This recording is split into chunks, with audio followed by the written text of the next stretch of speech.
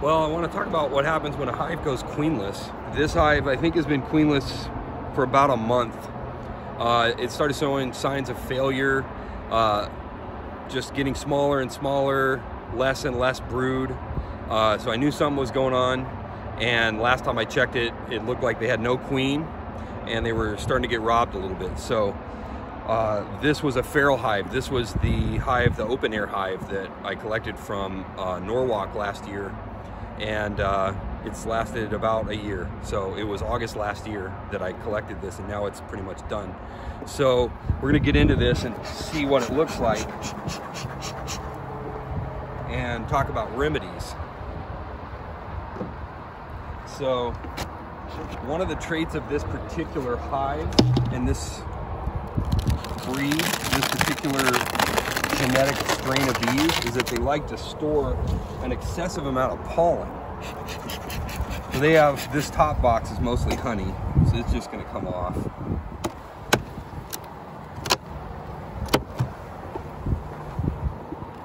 Good number of bees in there.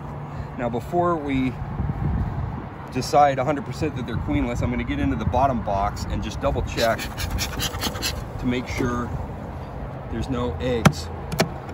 Because if they have requeened themselves in the last two weeks, I don't want to put another queen in here and have them fight. So we're gonna get in here and take a few frames out and see what's going on.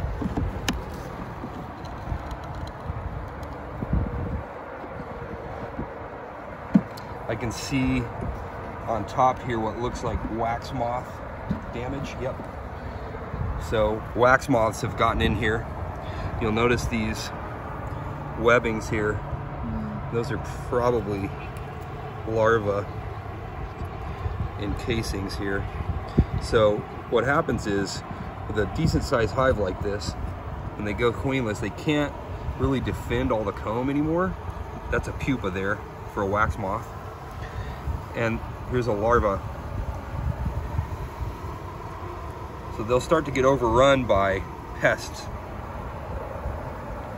And uh, a lot of this comb is just got to be cut a little bit because it's just gonna, just infested. Look at all that wax moth. So what I can do and what I'm planning on doing is installing a nuc in here and let them get in here and enjoy the uh, what's left of here, the goodies in here, like this pollen. The reason the wax moths are in here because there's all this pollen and they eat that and they get in there and they lay their eggs in it and then they hatch. And you get all these little nasty wormies. So there's still a fair amount of pollen though in this hive and there's honey. So my hope is by installing a nuc in here with a good healthy queen, they'll get in here and they'll start to build up really well because they have lots of resources. So let's more, yep. More wax moth damage. It's not too, too bad. I mean, there's a fair amount, but it's not all the way through the comb. So some of this is lost, but we'll see what the rest of it looks like. what I'll probably do is take out these combs and replace them with the combs from my nuc so that they're not fighting all these wax moths. You can see these are foundationless. So these were transfers from the uh, original hive last year. So I'm gonna pull these foundationless frames out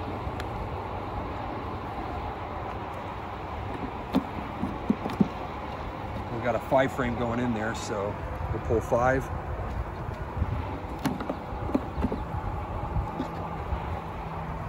That's all pollen. There's a hive beetle. Oops. Hive beetle in here, crawling around. Not too many hive beetles, thank God, but they'll lay their eggs in there too. So this is a good keeper frame. So we got one, two, three, four. Take this one out or this one. Let's see.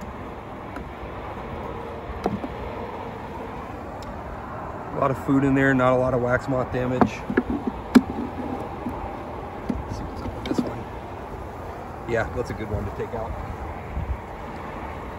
Just gonna go towards the edge. That's food. That's food. And we got five here. One, two, three, four, five. grab the nuc.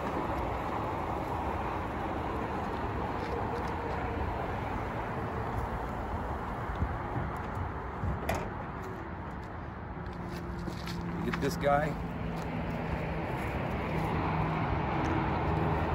First, see a bunch of bees here. Now they may fly out and be fussy, so we're about to see. You can see the little antenna coming out of there. We go the other way. Oops, sorry little bee. My bad. So let's back up a little bit, let them do their thing. They're probably gonna be a little frustrated. Gonna give them a little smoke. Help keep them calm. Bummer, killed a couple.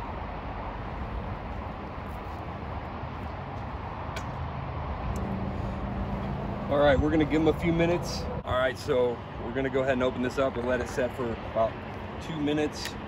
They don't seem to be too agitated, so we're gonna see what happens when we pull this open. Hopefully they didn't overheat on the trip over here.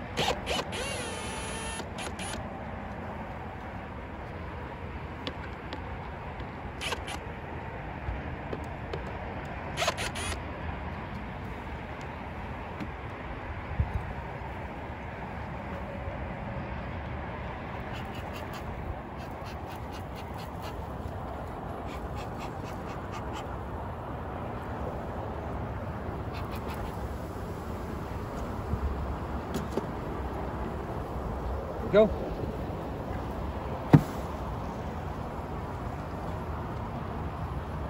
These bees are all from uh, a really good queen who is really calm.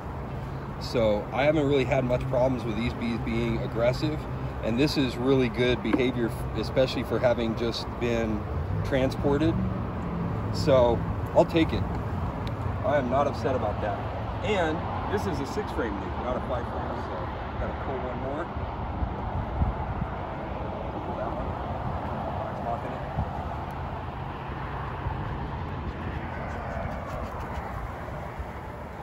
So now we're gonna do the switcheroo.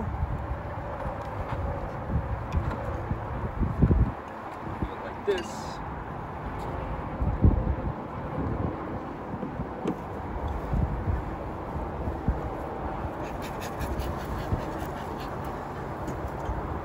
Get them ready. Start pulling frames and we'll take them in the same order they are here.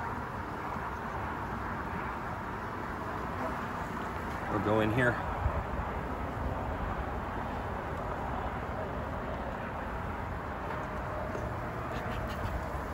We may even see the queen, we'll see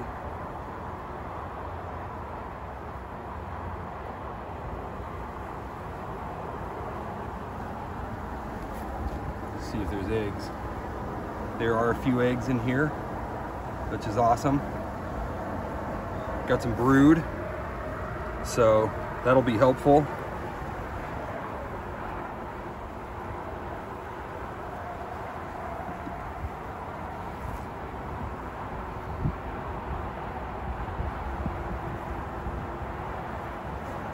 I got a few eggs. Blank foundation here. That really probably needs to be towards the edge, but I'll do that with it.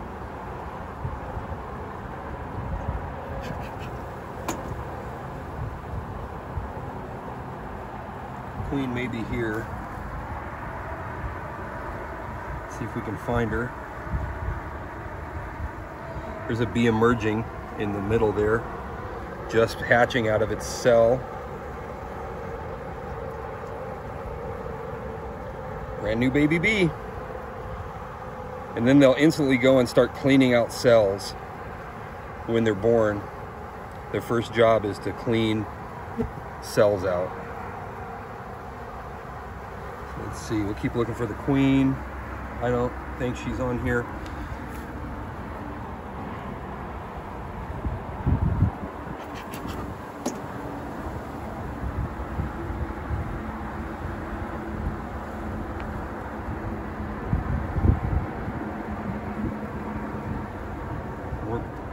drawn comb.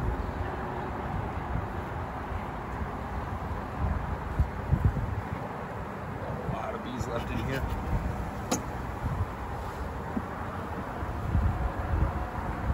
Kind of rearranging these. I said I was going to put them in the order they were in, but this brood should be in the center really. They've sort of favored the side probably for warmth, but see if we can find she. Could be in the box too.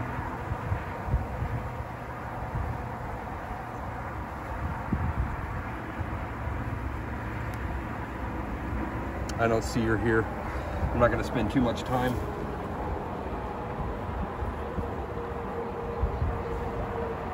Go.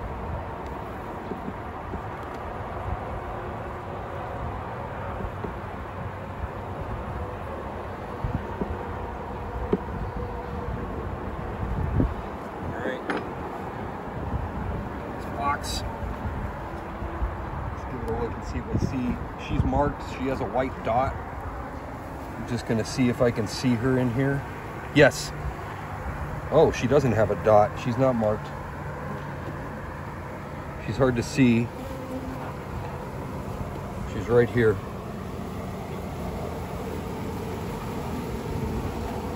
There's, there is she. So I'm gonna just shake her in here.